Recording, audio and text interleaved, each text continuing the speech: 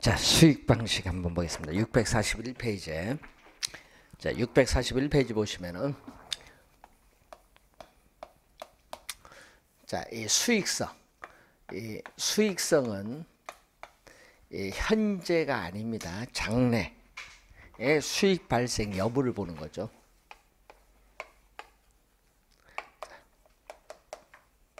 현재가 아니라 이 장래 수익 발생 여부를 보는 겁니다. 항상 이 미래라는 거. 예? 그래서 이 장래 수익 발생 여부를 기준해서 부동산을 이용함으로써 어느 정도의 수익을 얻을 수 있느냐 이 수익성의 원리를 근거로 해서 나타난 방식이 이 수익 방식입니다. 자, 이 수익 방식은 이 대상 물건의 가액을 구하는 수익 환원법, 대상 물건의 임대료를 구하는 수익 우리가 분석법으로 나눠볼 수 있죠. 자, 이 대상 물건의 가액을 구하는 이 대상 물건의 가액이 수익 가액이고 대상 물건의 임대료를 수익 임대료인데 작년 시험에 는 요 네모 안에 들어갈 말 무엇입니까 출제서 수익 분석법 작년에 출제했습니다. 자, 그래서 이 수익 분석법은 뭐에만 적용하냐면 기업용 부동산에만 적용한다.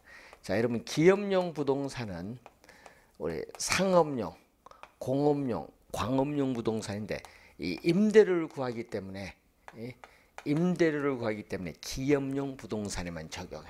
그런데 이 수익환원법은 수익환원법은 뭐에 적용하면 수익성 부동산에 적용해. 이 수익성 부동산은 이 기업용, 상업용, 공업용, 광업용 부동산인 이 기업용 부동산뿐만 아니라 이 임대용 부동산까지 대해준 요 수익성 부동산에 적용하는 게 수익환원법. 자 그러면은 이 개념 보면은 대상 물건으로부터 장래에 산출할 것으로 기대되는 순수익이나 자 장래 산출할 것으로 기대되는 순수익이나 또는 이 미래의 현금 흐름 자 미래의 현금 흐름을 우리는 환원하거나 할인 뭘로 우리는 환원 이율로 환원하거나 또는 뭘로? 할인 율로 할인하겠죠. 환원하거나 할인하여 대상 물건의 가액을 구하는 방법을 우리는 바로 수익 환원법. 자, 요거 계산 문제는 안 나오고 계산 문제 출제하면 요걸 출제. 계산 문제 출제하면 왼쪽이 출제. 자, 이때 요 네모 안에 들어갈 말 무엇입니까? 예? 출제 18회 시험했고 또 요 네모 안에 들어갈 말 무엇입니까? 요는 또 16회 시험에 출제했죠. 자, 장래에 산출할 것으로 기대되는 순수익이 안정적이라면은 환원율이 높으면 전체 값은 낮고 반대로 환원율이 낮으면 전체 값은 크기 때문에 이 수익가액과 환원율은 서로 역관계에 있다 이렇게 보시면 되겠죠. 자, 그래서 시험 문제를 출제할 때는 이 수익 환원법에 있어서의 3요소를 보면은 순수익, 순수익은 순영업소득입니다. 그리고 환원, 이율, 그리고 환원 방법. 수익을 우리가 환원하는 방법이 있어요. 순수익은 순영업소득입니다. 순수익은 순영업소득으로서 연간, 여러분 연간 단위를 구한다. 우리 월로 구하는 것이 아니라 항상 연간 단위로 구한다. 그래서 여러분 우리 저 순수익 배운 게 있죠. 여기 있죠.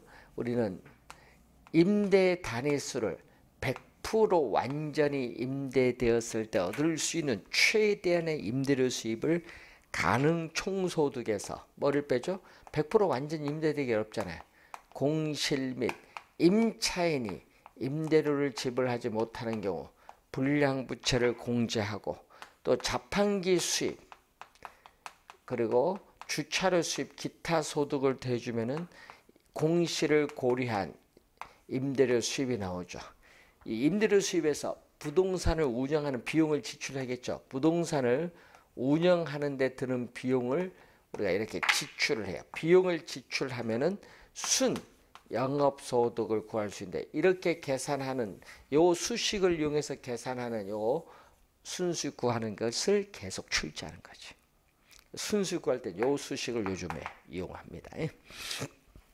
자, 환원 이율은 환원 이율은 대상 물건으로부터 장래에 산출할 것으로 기대되는 순수익을 통해서 이 부동산의 가액을 구하기 위한 이율입니다. 부동산 가액이 10억인데 순수익이 1억이면 얼마? 10억에 1억이니까 10%입니다. 그래서 이것은 환원 이율 자체는 이 부동산의 이 수익성을 측정하는 거죠. 그래서 부동산의 수익성을 측정한다. 그래서 이 기대 수익률이면서 사전 수익률인데 이 투자자 입장에서 보면 수익성이기 때문에 투자 지표로서의 역할을 하고 이 환원 이율은 주거용 부동산, 상업용 부동산 수익률이 달라요. 그래서 대상 지역, 용도, 품질과 등급 등에 따라 환원율은 서로 차이가 있습니다. 동일한 게 아니다. 여러분 서울의 수, 환원 수익률과 부산 수익률 다르죠. 차이가 있습니다. 자, 환원 이율의 종류를 보면은 환원 이율은 한 개의 한 개의 물건에 대해서 적용하는 개별 환원율. 예를 들면 토지 환원 이율, 건물 환원 이율이 있습니다. 또 토지 건물 두 개 이상에 대해서 적용하는 종합 환원 이율의 개념이 있고 자, 그리고 감가상각률 포함 여부에 따라 상각전 환원 이율, 상각 후 환원 이율 개념이 있고 또 소득세, 세공제 포함 여부에 따라 소득세, 공제 전, 세전 환원 이율, 세후 환원 이율의 개념이 있습니다. 자, 환원 이율의 구조를 보면은 자, 이 환원 이율의 구조를 보게 되면은 환원 이율은 투자한 자본으로부터 우리가 미래에 예상되는 수익, 이 자본 수익률에다가 미래 부동산 사용에 따르는 감가상각분에 대해서는 투자한 자본을 회수해야겠죠. 회수율을 더해주면 돼. 이 자본 수익률에 자본 회수율을 더해주면 되는데 이 자본 수익률이 무슨 개념? 우리는 할인율의 개념. 미래에 예상되는 수익을 현재의 가치로 할인하기 때문에 할인율이고 미래 부동산 사용에 따르는 감가상각분을 자본 회수하는 자본 회수율은 감가상각률의 개념. 구조. 자, 그래서 올해는 여기가 중요하거든요. 올해는 이 환원이율 쪽에서 출제가 좀 예상이 되거든요. 그래서 좀 잘 봐두셔야 되는데 이 환원이율 구하는 방법. 자, 환원이율 구하는 방법은 크게 우리는 다섯 가지로 나눠 보죠. 시장 추출법이라는 게 있어요. 시장 추출법을 우리는 시장 말 비교 방식 시장 비교 방식 또는 시장 접근법이라고 해요.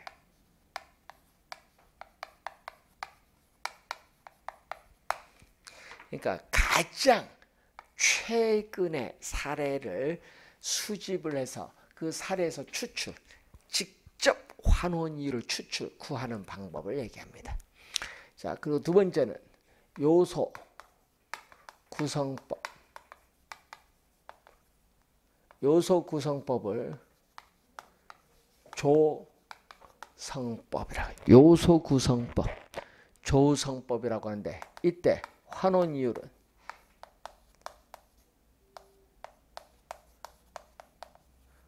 환원 이율은 순수 이율.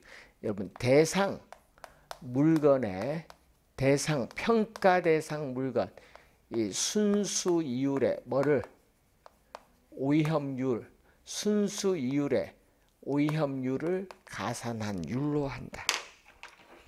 이때 순수 이율은 순수 이율은 우리가 무위험 자산의 수익률, 무위험률을 얘기해. 그러니까 여러분 국채 수익률인데 여러분 주열액은 아까 앞 시간에 배우셨던 적산법에 있어서의 기대 이율의 개념이 아니다는 거. 예? 그리고 위험률, 위험률은 위험 부담에 따르는 할증률을 얘기해. 이 투자자에 있어서의 위험 부담에 따르는 할증률을 얘기합니다. 위험 부담에 따른 할증률. 이때 위험률을 구성하는 요소로서는 투자에 따르는 위험성, 현금화가 쉬운가 어려운가, 비유동성, 또 부동산 관리가 어려울, 어려울 난, 어려운가 쉬울 있자, 어려운가 쉬운가, 관리의 난이성, 또 투자한 자금, 투자한 자금의 뭐다? 안정성. 자, 이때 위험성이 높을수록 현금화가 어려울수록 관리 난이성이 어려울수록 위험률은 증가해요. 위험률은 뭔다? 증가하는 건 플러스 요인. 여기 플러스 요인으로 들어가요. 근데 자금의 안전성이 높으면 어떻게 돼? 위험률은 자금이 안전하면 위험률은 줄어들죠. 이때 위험률은 뭐 하는 요인? 감소하는 요인은 뭘로 간다? 마이너스. 여기 마이너스 요인으로 들어오는 거죠. 자, 이렇게 대상 부동산에 관한 위험을 이렇게 여러 요소로 분해하고 이 개별적 위험에 따르는 할증률을 순수 이율에 대해서 구하는 방법을 요소 구성법인데 문제는 요 두 수식에 대부 비율이 없어요. 그래서 부동산을 담보로 금융기관에서 융통 대출받는 이 저당 금융이 환원 이율에 미치는 영향을 반영하지 못한다는 단점이 있고 또 이 위험률을 구하는 데 있어서 평가사의 주관 개입 여지가 많다는 단점이 있어요. 자, 그리고 투자 결합.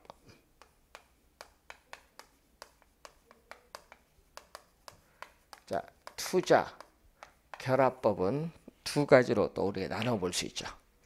물리적 투자 결합법 그리고 금융적 투자 결합법으로 크게 나눠 볼 수 있습니다.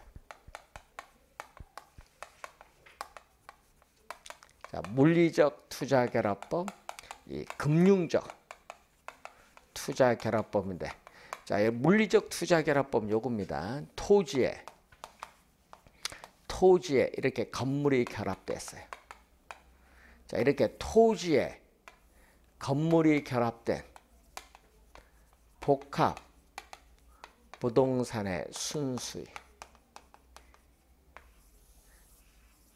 자, 이렇게 토지에 건물이 결합된 복합 부동산의 순수익, 즉, 이 소득을 창출하는 부동산의 능력이 토지와 건물이 서로 다르다.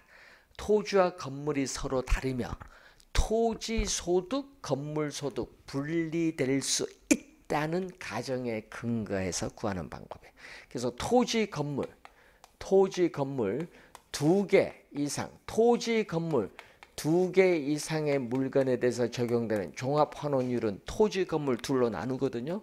그래서 토지에 있어서의 환원 이율, 토지의 환원 이율, 토지 이렇게 또 건물 이렇게 나눠요. 토지 환원 이율, 건물 환원 이율. 토지와 건물로 이렇게 나눠요. 이때 이 전체 이 전체 부동산 가격에서 가중치를 곱해 주는데 토지 가격이 차지하는 별. 그럼 예를 들어서 전체 전체 부동산 가격을 100%볼 때 토지 가격이 30%라 하면 얼마? 100%에 30% 얼마? 0.3. 그럼 여기는 얼마? 0.7. 여기는 전체 부동산 가격에서 건물 가격이 차지하는 비율, 이 가중치를 곱해서 구합니다. 자, 이렇게 구하는 방법을 무슨 방법? 물리적 투자 결합법. 금융은 뭐다? 자금을 융통받는 거죠. 그래서 총 투자한 금액이 내 돈 남의 돈 이렇게 나눠야 돼. 그래서 금융적 투자 결합법은 지분 투자자의 요구 수익률. 자, 여러분 지분 투자자의 요구 수익률을 우리는 지분 환원율이라고. 여러분 지분 투자자의 요구 수익률을 지분 환원율을 자기 자본 환원율. 그리고 저당 투자자의 요구 수익률은 우리는 저당 환원율. 저당 환원율을 다른 말로 타인 자본 환원율. 그래서 이 지분 투자자의 요구 수익률과 저당 투자자의 요구 수익률 요 두 가지가 서로 다르다. 이게 15의 정답이었죠. 서로 다르다는데 착안을 해서 투자 자본을 금융적 측면에서 구분하는 방법을 금융적 투자 결합법인데 여기서 가중치를 곱한데 이 가중치는 부동산 가격에서 자기 자본이 차지하는 비율, 부동산 가격에서 대출금이 차지하는 비율, 이 저당 비율을 우리는 대부 비율이죠. LTV를 얘기해요. 이때 카즈 디난 학자는 저당 환원율을 우리는 저당 상수로 표현하고 우리는 지분 환원율은 한 해의 소득을 기준으로 계산한 지분 배당률을 적용을 하죠.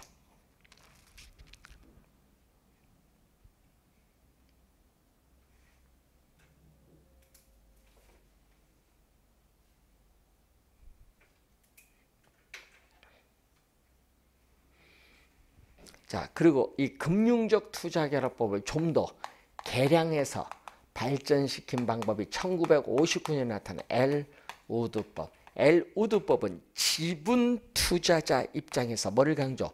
여러분 종합 수익률, 여러분 총 투자 수익률, 총 투자 수익률인 종합 수익률이 아닌 뭐를 강조한다? 지분 수익률을 강조한다. 지분 수익. 종합 수익률인 지분 수익률을 강조한다.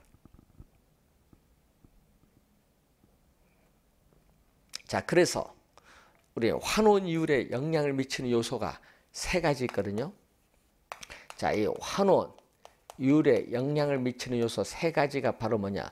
여러분 이 엘우드법은요 부동산을 취득을 해서 일정 기간 보유하다가 처분하는 걸 전제로 해. 그렇기 때문에 보유 기간, 이 보유 기간 동안 부동산 현금 들어오는 게 있거든요. 매 기간마다 현금 수입, 현금 지출이 있어요.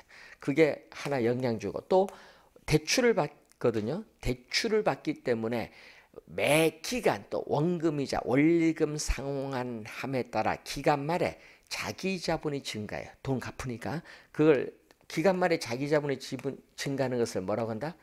지분이 형성된다. 요거. 그리고 취득 시의 가격에 비해서 처분 시의 가격이 오를 수도 있고 내릴 수도 있잖아요. 기간 말 부동산 가격 상승분 또는 하락분 이 세 가지가 환원율에 영향을 줘요. 그래서 문제는 부동산 가치를 부동산 가치는 요거거든요. 자, L 우드법에서의 부동산 가치는 자기 자본, 내 돈, 이 지분 가치에다가 이 저당, 타인 자본을 반드시 이용하니까 이걸 대준 건데 이 부동산 가치를 구하기 위한 소득, 환원, 부동산 가치를 우리가 구하기 위한 환원, 이 부동산 가치를 구하기 위한 환원 대상 소득을 뭘로 보냐 하면 세전으로 봐요. 세전. 현금 수지로 봐요. 그러니까 부동산 가치를 구하기 위한 환원 대상 소득이 세전. 세전은 세금을 납부하기 전이니까 뭐죠? 세금, 소득세죠. 이때 이 세금은 바로 영업에 따른 뭐다? 소득세를 얘기해. 그래서 이 세금이 환원 대상 소득을 세전 현금 수지로 보기 때문에 세금이 세금이 부동산 가치에 미치는 영향, 이 세금이 부동산 가치에 미치는 영향을 고려하지 않는다는 단점이 있습니다. 자, 요건 지분 투자자 입장이 아닌 대출자인 저당 투자자 입장에서 강조하는 게 바로 뭐죠? 부채 감당법. 이 개텔법이 나오죠. 이 개텔법은 누구? 저당 투자자인 누구 입장에서 대출자. 이 저당 투자자인 이 저당 투자자인 자 저당 투자자인 대 출자 입장에서 구한다. 그래서 환원이율은 자 부채 감당법에서의 환원이율은 어떻게 구하죠? 자 이런 부채 감당법에서의 환원이율은 이렇게 구하죠. 투자율에서 매년 출제된 용어죠. 순영업소득이 원리금 상환의 부채 서비스에게 몇 배가 되느냐. 이 부채 감당률에 근거해서 구하는데 여기에다가 부동산 가격에 대해서 대출금이 차지하는 비율, 대부 비율에다가 뭐죠? 저당 상수를 곱해주면 구하는데 이렇게 곱해서 구하는 건 24회 시험 계산문제 출제죠. 또 네모 안에 들어가는 건 18회 시험. 이렇게 금융기관이 중시하는 요소를 가지고 환원 이율, 수익률을 구하기 때문에 객관적이고 계산은 간편하다는 장점이 있어요. 그렇지만 지나치게 대출자인 금융기관을 보호하고 있다는 비판을 받고 있는 한계가 있습니다. 자, 우선 올해 환원율이 중요하거든요. 요 순, 요거 출제할 수도 있고 시험에 환원율 구하는 방법이 아닌가. 요 다섯 가지 중에 네 개 나오고 하나 뭐 분해법이 나올 수 있어요. 분해법은 원가법에서의 감가수정 방법입니다. 그래서 여러분이 올해는 환원율이 진짜 중요합니다. 그래서 환원율 공부를 좀 잘 해두셔야 돼요. 자, 그러면 이제 환원 방법이 이제 나오는데 이 환원 방법 자체가 이 자본 회수의 논리에 따라 나온 거잖아요. 자, 이 투자한 자본 회수의 논리에 따라서 나오는 게 이 환원 방법이에요. 환원 방법. 자, 여기에는 네 가지가 있거든요. 우리 직접법이란 게 있어요. 직접법 또는 직접 환원법인데 여기는 토지에 적용해. 농지나 염전 등의 토지 적용인데 토지는 뭐가 돼요? 중요한 거는 토지는 사용하여도 소모가 안 돼요. 감가상각 할 수 없어요. 토지는 사용하여도 소모가 되지 않기 때문에 우리는 투자한 자본을 어떻게 돼요? 우리는 회수할 필요가. 그러기 때문에 수익 가액은 바로 이렇게 나오죠. 수익 가액은 토지로부터 장래 산출할 것으로 기대되는 순수익을 바로 환원, 이율로 환원해서 바로 구하는 방법이에요. 자, 건물, 구축물, 건물, 우리가 구축물 또는 우리가 기계, 장치 등의 동산에 적용하는데 자, 수익도 유한해. 수명이 있기 때문에 수익도 유한하고 내용연수, 수명도 유한한 삼각자산에 적용하는 게 직선법이에요. 그래서 삼각자산일 때는 항상 순수익은 삼각전입니다.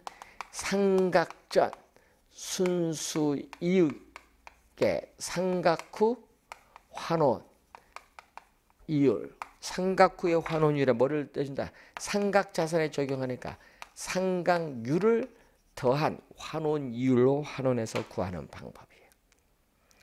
자, 연금법. 연금법은 인 우두법이라고 해요. 인 우두법 22회 시험에서는 이것을 평균 연금 환원법이라고 해요. 평균 연금 환원법. 그리고 상환 기금법. 이거는 호수 콜드법이라고 하는데 이것은 감채 22회 시험 요거 출제죠. 감채 기금 환원법. 자, 이 두 가지는 복합 부동산에 적용. 예, 부동산이 부지와 건물, 기타 삼각 자산의 결합으로 이은 복합 부동산에 적용하는데 연금법은 매년 회수되는 상각액을 재투자함으로써 수익을 영장시킬 수 있는 공장, 슈퍼마켓 등의 복합 부동산이나 업권에 적용하고 상환기금법은 매년 회수되는 감가액을 재투자함으로써 수익을 영장시킬 수 없는 광산, 채석장, 광업권 등에 적용해요. 그래서 이 세 가지는 상각 자산에 적용하거든요. 이 세 가지는 상각, 감가상각할 수 있는 자산에 적용하기 때문에 투자한 자본에 대해서 회수할 필요가 있다. 자본 회수가 필요한 것이 바로 이 세 가지. 네, 네 가지 방법이 있거든요. 자, 그래서 이걸 확인해 두시면 되겠고, 하여튼 우리는 환원 이율이 중요합니다. 자, 그리고 이 물건별 감정 평가에서 우리가 시험에 나오는 것은 우리가 25회 정답 물었고 26회 또 출제 이 건물을 많이 내거든요. 이 건물은 거래 사례 비교법으로 많이 냅니다. 건물은 거래 사례 비교법이 아니라 뭐다? 원가법. 자, 15조 제1항 원가법. 자, 그리고 또 20조 2항의 건설기계, 20조 4항의 항공기, 20조 3항의 여기 선박이 있거든요. 그래서 여러분 감정평가 업자는 선박을 감정평가할 때에 선체, 기관, 의장별로 구분하여 감정평가돼 각각 뭐를 적용한다? 원가법을 적용하여야 한다. 이런 얘기죠. 자, 그런데 주의할 거는요. 자동차는 안 들어가. 여러분 자동차는 여러분 원가법을 적용하는 것이 아니다. 이 자동차는 거래 사례 비교법. 시험에 그래서 많이 낸 거죠. 20조 1항이죠. 거래 사례 비교법. 자, 18조의 과수원, 21조의 동산. 이것은 거래 사례 비교법. 자, 그리고 임대료를 평가할 때는 뭐죠? 아까 우리 1교시 임대료를 감정 평가할 때는 뭐를 적용한다? 임대 사례 비교법을 적용해야 된다. 여러분 장 26회 시험 정답. 26회는 뭘로 출제했다? 적산법으로 출제했지. 적산법이 아니다. 임대 사례 비교. 26회 정답지. 그리고 요거 있죠? 건설기계, 항공기, 선박, 자동차 이 네 가지는 본래 본래의 용도, 본래 용도의 효용 가치가 없는 이 물건은 해체 처분가. 여러분 본래 용도에 있어서 본래 용도에 있어서 효용 가치가 없는 물건은 뭘로 평가한다? 해체 처분 가액으로 감정 평가할 수 있다. 20조 5항. 이건 20조 5항에 나와요. 본래 용도의 효용 가치가 없다. 뭐 건설기계, 항공기, 선박, 자동차 이 네 가지에 본래 용도의 효용 가치가 없는 물건은 뭘로 해체 처분 가액으로 감정 평가할 수 있다. 자, 그리고 16조가 토지 건물 일괄 평가 있거든요. 자, 토지와 건물이 결합된 물건의 일괄 평가. 여기 16조에 나오거든요. 16조에 보면 요거 뭐죠? 자, 집합 건물의 소유 및 관리에 관한 법률 내 있어서의 건물 부분 그 대지 사용권을 일괄하여 감정 평가하는 경우는 뭐를 적용한다? 거래 사례 비교법. 시험에는요. 요걸 원가법으로 많이 내요. 거래 사례 비교법. 자, 17조도 많이 내요. 17조. 우리 살림의 감정 평가가 나오거든요. 두 가지가 있어요. 자, 살림, 감정 평가 업자는 살림을 감정 평가할 때에 산지와 임목을 구분하여 감정 평가하여야 한다. 이 경우 임목은 거래 사례 비교법을 적용하되 지름이 작은 숲인 소경목림은 원가법을 적용할 수 있다. 이 1항을 또 시험에 많이 냈거든요. 2항은 산지와 임목을 일괄하여 산지와 임목을 일괄하여 감정 평가할 때는 뭐를 적용한다? 거래 사례 비교법을 적용해야 된다. 자, 이 물건별 평가에 관련해서 우리가 시험에 올해 출제 또 예상되는 부분입니다.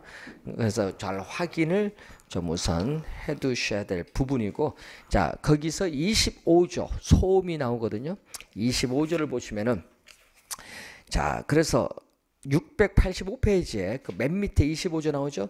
감정평가업자는 소음, 진동, 일조 침해 또는 환경 오염 등으로 대상 물건에 직접적 또는 간접적인 피해가 발생하여 대상 물건의 가치가 하락한 경우 그 가치 하락분을 감정 평가할 때에 소음 등이 발생하기 전에 자 밑줄 긋습니다. 대상 물건의 가액 및 원상 회복 비용 등을 고려하여야 한다. 시험 문제는요.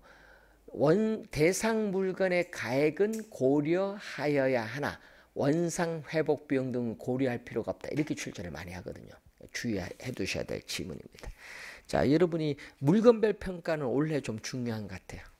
예? 그래서 여러분이 이제 이렇게 해서 우리 감정 평가의 3방식에 관련된 내용 물건별 평가를 마치고 그리고 작년 2016년 9월 1일에 법이 바뀌었어요. 부동산 가격 공시 및 감정 평가에 관한 법률을 작년 9월 1일에 바뀌어서 시행된 게 바로 부동산 가격 공시에 관한 법률에 의한 우리가 부동산 가격 공시제도인데 여기도 매년 한 문제 출제를 합니다. 그래서 올해도 출제가 예상되는 부분인데 이 부분 우리가 잠시 쉬고 우리가 강의를 진행하도록 하겠습니다.